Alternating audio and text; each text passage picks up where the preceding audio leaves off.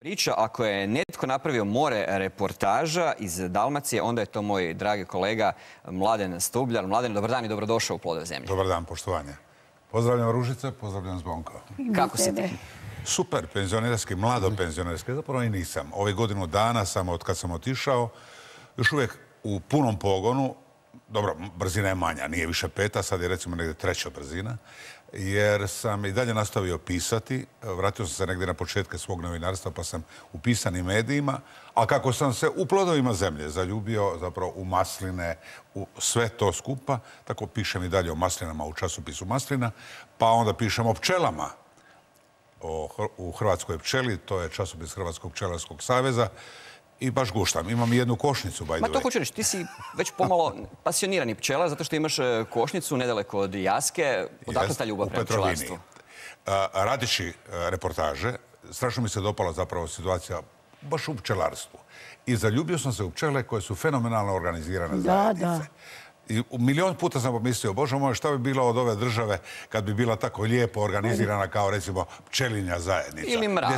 ili mravić, recimo. Ali dobro, držimo se pčela. I otud, kad sam išao u penziju, onda su kolege Vlatko, Nino i svi ostali Sanja iz redakcije poklonili mi kad sam išao Znali su da sam išao i na tečaj pčelarstva kod profesora Kežića na Agronomskom fakultetu i poklonili su mi jednu pravu, kompletnu LR košnicu. I onda sam ja krenuo sa pčelama, ali tek ove godine kad sam definitivno se maknuo s televizije i doživio zapravo jedno razočarenje na kraju. E, radio sam reportažu o e, pčelarima tu u Vukomeričkim Goricama. Sad u jesen ubalo me dvije pčele i ruka je otišla pet brojeva ovakva. Završio sam na hitnoj na rebru i onda su mi rekli gore Gospod Mladen, neće ići. od pčelarstva ništa. neće biti ništa, vi niste za pčelarstvo. Vidjeli smo reportažu iz e, Kaštela, ne sumnjam da si e, bio ondje, a ako ne snimajući reportažu o staklenicima, uzgoju povrća, onda sigurno onim temama po kojima te ljudi poznaju. Po, vinogradarstvu, znači vinima, po ribarstvu i po maslinarstvu. Zapravo ja sam krenuo s ribarstvom, ali smo u Dalmaciji brzo naučili da riba pliva tri puta da je u moru, da je u ulju maslinovom i da je naravno u vinu. I tako sam ja onda svoje svjetonazore i interes zapravo u, u, u rađenju reportaža proširio na te Ali često me ljudi pitaju na terenu, kažu, mladi Stubljar, on je sigurno negdje s mora, on se razumije u sve te neke morske teme i ovako, međutim, ovaj, nije, ti si iz Karlovca. I to je jedan od rijeki iz Karlovca, koji kad sam se rodio, nisam dobio štap u ruke, pecaroški, četiri rijeke. Tamo su svi pecali inače, a mene to nikad nije interesiralo. I zato je zapravo na moje veliko iznenađenje osobno, za čak u životu, završen kao reporter za ribarstvo u plodovima zemlje. Ja sam znao i gospođu Rušicu i Zvonka, godinama na televiziji definitivno kad sam došao i tako dalje. Ali ni pri pomisli, ni pri pameti da bi slučajno završio zapravo u toj A posebno na ribama. posebno na ribama. Znamo se, znamo se već e, dugo 18 e, godina. Ti si volio raditi za plodove zemlje i u stvari u svojoj karijeri si promijenio puno toga, e, zabilježen si kao svoje, svoje vrsna možemo tako reći, i legenda i zaštitno ime Hrvatske radio televizije, ali znam da si baš poljoprivredu, poljoprivrednu emisiju baš si ju volio raditi. Jesam, zato jer je u naša emisija Plodovi zemlje jedna fina mala oaza u kojem bilo par ljudi, ti, e, e, e, evo ja uredno, pa je Sanja uredno pristigla, gdje smo odlično surađivali. Sa svim ovim našim novinarima po dopisništvima s kojima smo... A da ne govorimo o kolegama uredno o svih dopisništva s kojima smo briljantno surađivali, ali mi je ta emisija zapravo u 44 godine televizije dala slobodu. Ja sam zapravo uživao u slobodi radići kao reporter, životne priče. E, tako, i radio životne priče. Jer te životne priče koje smo Vlatko i ja objavljivali zapravo su bile pokazatelj... u cijeloj toj našoj emisiji je u stvari život. Da, tako I kroz te emisije cijeli tih 60 godina... Sedam dana prođe i mi pokažemo što se zbivalo kroz živote ljudi u tih sedam dana. Ali ne samo i tih 60 godina je prošlo, u stvari imaš jedan redoslijed šta se događalo u poljoprivredi. Nažalost, mi postali kroničari... Da, nažalost, mi smo postali kroničari propasti. E, e, našeg sela i naše poljoprivrede. Kupujemo i kruh, uvozimo kruh. Puno si reportaža snimio, koja ti je možda ostala onako u sjećanju najdraža? Ne znam, pa stvarno, stvarno sam puno reportaža napravio. A ja znam, evo sad ću se opet vratiti. Prošle godine sam, kako sam ja zaljubljen inače i u branje gljiva, prošle godine sam doživio baš pri kraju uredno reporterske karijere u, u Plodovima zemlje, jednu sjajnu godinu, jednu sjajnu berbu koju sam ovjekovječio sa izuzetnim kamerom, kamermanom Dražanom Koluderom bio sam u Tounju i nabrali smo, ja mislim, jedno sto kila vrganja i ovo ono. I bila jedna sjajna reportaža od toga. Tam je baš bila jedna od draži. Jer je to i hobi, a pretvorio sam zapravo jednu pravu priču o ljudima toga kraja, kojima zapravo gljive su jedno od rijetkih zapravo prihoda koje imaju i zapravo isto pokazati zapravo kakva je životna situacija u tom dijelu. Odlična reportaža je bila. Govorimo e, stalno o povijesti, međutim moramo reći nešto malo o budućnosti, odnosno da pogledamo našu agrometeorološku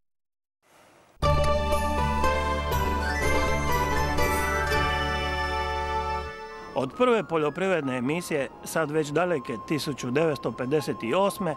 meteorolozi svojim specijaliziranim agrometeorološkim prognozama nastoje vam pomoći kod planiranja radova, ali i ostaviti vam dovoljno vremena da spriječite ili barem ublažite negativne posljedice vremenskih nepogoda. Nekada nismo bili u mogućnosti to činiti svake nedelje, ali od 2004. svakog tjedna smo s vama. Koliko smo u tome uspjeli, najbolje ćete znati vi. A na sam početak sljedećega tjedna očekuju se maksimalne vrijednosti temperature zraka u rasponu od 9 do 14 stupnjeva Celzijusa, ali sredinom tjedna spustit će se i za 5-6 stupnjeva. Tada će minimalne vrijednosti uglavnom biti od minus 4 do minus 6 na kontinentu, a uzduž Jadrana od 2 do 4 stupnja Celzijusa. Nažalost, do tada će se već snijeg otopiti, te će izostati toplinska zaštita za biljke. Zaleđivanje i odmrzavanje vode na oranicama moglo bi prouzročiti veće štete na ozimnim kulturama. A početkom tjedna bit će uglavnom slabe kiše, potom veći dio tjedna očekuje se suh, pa i sunčan, ali na kontinentu s mogućom maglom. Srednje dnevne vrijednosti temperature tla na desetak centimetara dubine na kontinentu se očekuju u rasponu od minus 1 do 1, te je moguće smrzavanje tla i ispod 10 cm dubine. Uzduž Jadrana očekuju se osjetno više vrijednosti i to od 6 do 8 stupnjeva Celzijusa. Eto, svima vama u ime agrometeorologa želim sretan Božić i uspješnu 2019. godinu sa što manje dakako vremenskih nepogoda. A emisiji, emisiji prognoziramo dug i gledan vijek, što će potvrditi i vrijeme u sljedećem tjednu, jer kad je zora bijela, a večer crvena, spusti jedra, lijepa će vremena.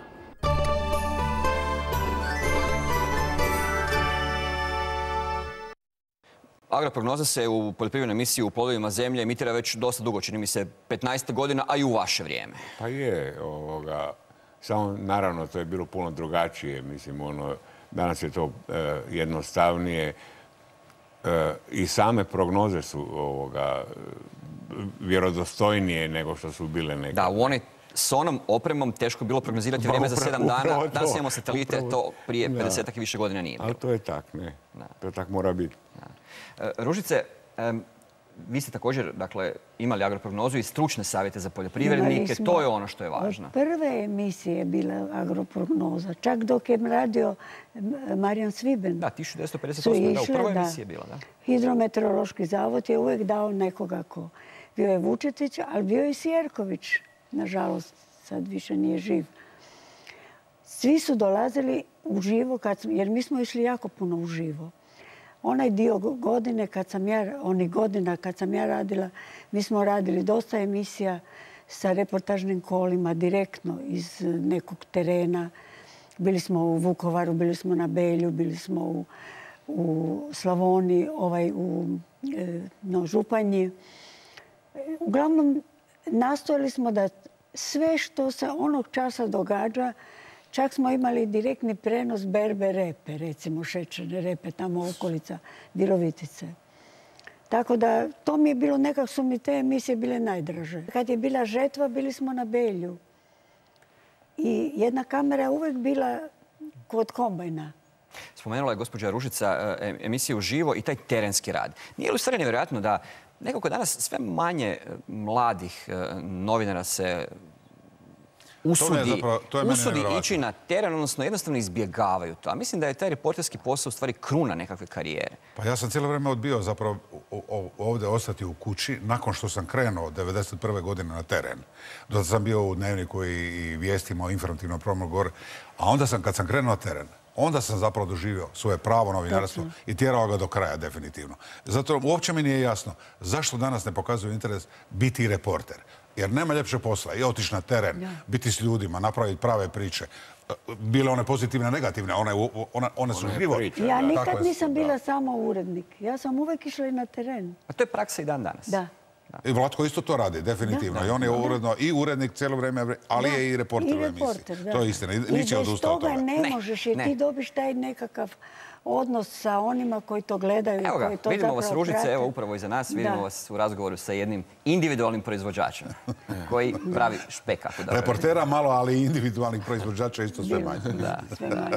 Gospodine Kola, kako vi komentirate tu činjenicu da je poljoprivredna emisija, da su plodovi zemlje kao takvi opstali 60 godina? To je u stvari jedan, jedan fosilizirani relikt u medijskom Da, to prostoru. vi možete reći ovoga. Ja, ja ne bih slučajno rekao, ni slučajno to rekao, jer morate znati da poljoprivrednu emisiju, bez obzira što su tu bili savjeti, što je bila prognoza, što, što je bio direktan kontakt sa proizvođačima, e, uvijek, e, e, uvijek se je našlo nešto, e, kako bi rekao, za građane.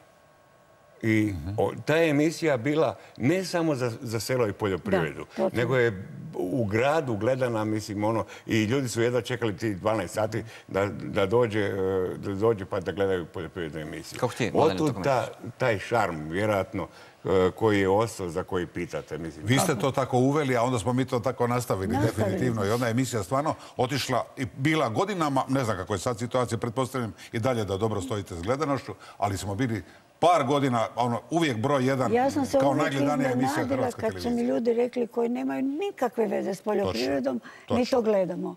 Onda kaže ili sam ja rodom iz nekog sela pa gledam to, ili imam neke rodbinu koji tamo rade. I tako, uglavnom gleda dosta. Dosta smo se e, hvalili. E, hvala vam na sudjelovanju u ovoj emisiji. Malo pomalo stigli smo i do kraja, e, poštovani gledatelji. Isteklo je naših 50 minuta. Hvala dakle vama, hvala i vama poštovani gledatelji na vjernosti, ali moram se i zahvaliti svim kolegama i kolegicama iz naših centara i dopisništava koji vrijedno, s puno ljubavi, mara, truda rade za plodove zemlje. Bez njih ni ove emisije ne bi bilo. Hvala. Sljedeći tjedan mala rekapitulacija 2018. godine. Budite uz nas. Želim vam sretan